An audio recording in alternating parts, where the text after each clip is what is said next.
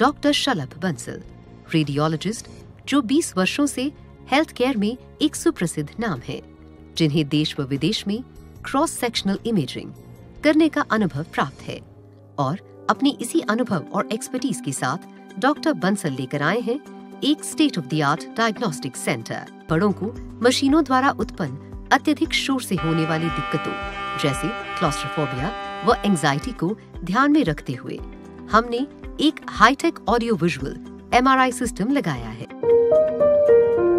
Tesla imaging and diagnostic centre जनता का सवाल है कि अगर यदि आप जीत जाते हैं यहाँ तो मेरठ में रहेंगे आप? तो मेरठ में आपके दर्शन हो पाएँगे लोगों को या नहीं? ये समय ही बताएगा भाई देखो। यह डायलॉग सुनकर आप चौंके अवश्य होंगे। टिकट घोषित होने के बाद पहली बार मेरठ पहुँचे भाजपा प्रत्याशी। अरुण गोविल ने मीडिया के सवाल पर साफ़ कहा कि जीत के बाद उनके मेरठ में दर्शन होंगे या नहीं, यह तो भविष्य ही बताएगा। चेहरे के हाव भाव देखकर आप खुद ही निष्कर्ष निकालें कि इनका आशय क्या है। दरअसल, मेरठ हापुड़ लोकसभा सीट से टिकट चाहने वालों की भाजपा में लंबी फेहरिस्त थी।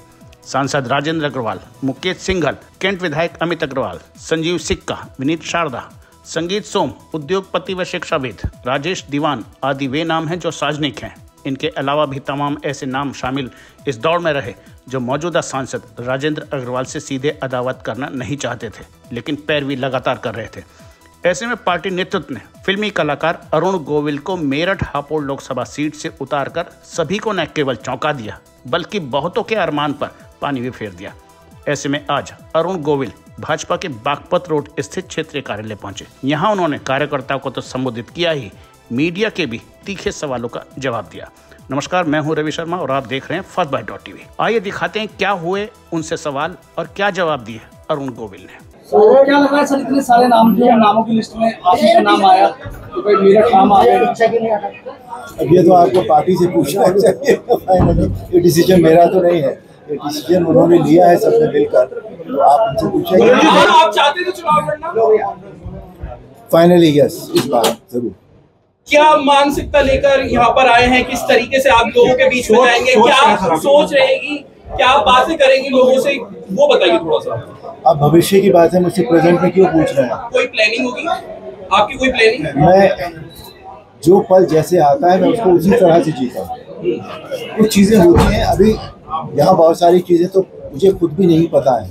है ना? पहली बार ये मेरे साथ हो रहा है, पहली बार मैं ऐसा कर रहा हूँ। मैं किस तरह से इसको सोचूँगा किस तरह से कोई चीज़ होती है जब हम एक विचार, एक लक्ष्य लेके चलते हैं, जब वो सेटल इन हो धीरे धीरे होने लगता है ना, तब हम अपनी एक स्ट्रैटी बनाते हैं ठीक है ना? जब तक हमें पता ही नहीं कि हमारी नीचे ज़मीन क्या है, हम किस ज़मीन पर खड़े हैं, तब तक हमें कैसे सोचें कि उसमें हम क्या बोलेंगे कितना उगेगा, हमें नहीं पता। तो अभी जो ज़मीन बन रही है ये जो विचार है अभी तो विचार था ये। दोनों चीज़ों में सर कितना अंतर मानते हैं कि वहाँ एक तरफ़ आपने राम का किरदार निभाया यहाँ अब आपको राजनीति की पाठशाला में आपको उतरना पड़ा? है जी पहली बात तो है कि मैं राजनीति मैं नहीं करूँगा।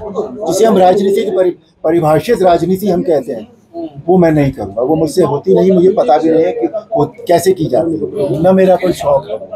मैं यहाँ आया हूँ कि मेरे पास जो है, मेरे पास है, अभी तक के मेरे जीवन के हिसाब से प्यार है, संवेदनशीलता है, मैं लोगों के लिए कुछ कर सकूँ। ये है, मैं यही करूँगा यहाँ पर। इसके अलावा सो कॉल्ड राजनीति मैं नहीं कर सकता। मेरी पैदाइश मेरठ में हुई है, हापुड़ बस स्टैंड उस वक्त का, उसके बराबर में ठीक एक मोहल्ला है, रामनगर। वहाँ मैं पैदा हुआ था। फिर मेरठ में मैं, मेरठ से मेरी पढ़ाई हुई है। पहले सरस्वती शिशु मंदिर में मैंने पढ़ा। उसके बाद मैंने गवर्नमेंट इंटर कॉलेज जो बेगमपुर पर है वहाँ से मैंने अपनी पढ़ाई की। नहीं मेरठ की हो या कहीं भी हो कनेक्ट तो मन से होता है।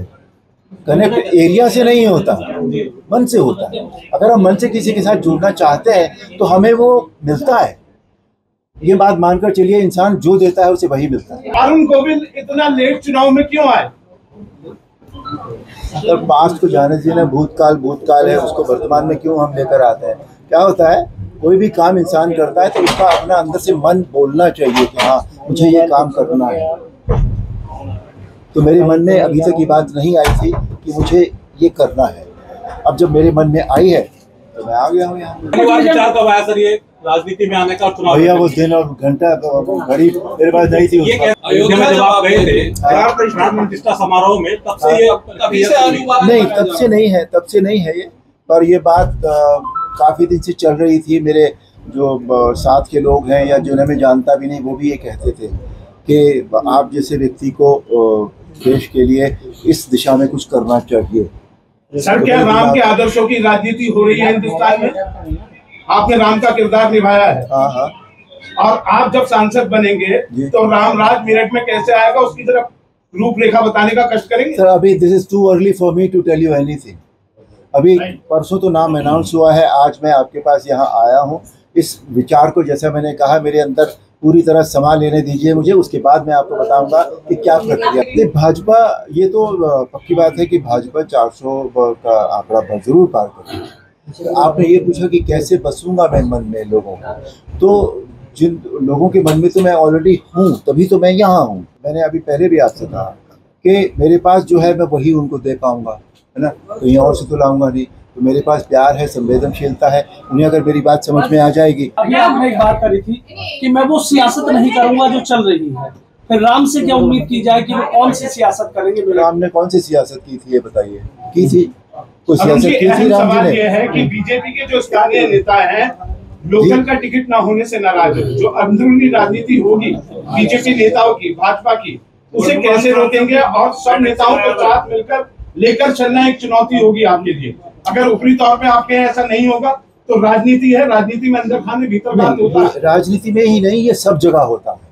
जो अवसर जिसे जो पाना चाहता है अगर उसे अवसर नहीं मिलता तो ये हर जगह ये हर जगह होता है सिर्फ़ राजनीति में ही नहीं होता। खराब लगती हैं कुछ बातें सबको सबको खराब लगती है। हमें भी लगती है आप भी लगती है सब इंसान है मानव है।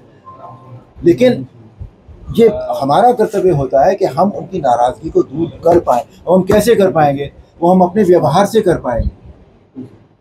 जो हमारा व्यवहार होगा उनके लिए, जो तो उस चीज़ से हम कर पाएँगे। और ऐसा मैं ये, मेरा हमेशा का मानना है कि अगर आप किसी को प्यार से बात करते हैं तो वो आदमी कभी भी आपको गाली देकर नहीं जाएगा। एक बार तो ज़रूर सोचेगा कि नहीं यार, ये आदमी प्यार से बात कर रहा है, ये आदमी ठीक है। लेकिन कुछ सी ग्रेड फ़िल्मों में आपने काम किया है। उनके सोशल मीडिया ने आपके जो सी ग्रेड फ़िल्म में ए प्लस का सर्टिफिकेट जिन्हें मिला है, उसके वीडियोस निकाल के अक्सर सर्कुलेट करने शुरू करती है। तो विपक्ष इसका इस्तेमाल राम की छवि, उधर आपके सी ग्रेड हीरो की छवि, उसमें कैसे तालमेल बिठाएँगे? वो तालमेल मेरा बिठाना मेरा काम नहीं है। पहली बात तो ये है। उनका काम जो हुआ है, वो जो वो कर सकते हैं, वो वो कर रहे हैं। जो मुझे करना होगा, वो मैं कर, वो मैं करूँगा। Is as simple as that आप किसी को कैसे रोक थोड़ी सकते हैं लेकिन हमें ये देखना होगा कि कौन सी चीज़ फाइनली विजय हासिल कर मेरा ये भरसक प्रयत्न होगा कि मैं उन लोगों के प्रति, उनके विश्वास के प्रति, जो मुझे यहाँ लेकर आएँगे, उनके विश्वास के प्रति मैं हमेशा ईमानदार रहूँ, ये मेरा पूरा प्रयत्न समाजवादी पार्टी अलग घेराबंदी कर रही है। हाथी अलग आपके सामने आपके राह रोकने के लिए आ गया। तो वहाँ से आप आए, ऐसा कौन सा ब्रह्मास्त्र लेके आए कि आपको लग रहा है कि विजय पताका फहरा लेंगे आप ब्रह्मास्त्र न उनके पास है और न मेरे पास है। पहली बात तो मैंने आपसे कहा कि मैं जो लेकर आया हूँ, मैं बहुत, वही लोगों को दूँगा। और मेरी ईमानदारी मेरी ईमानदारी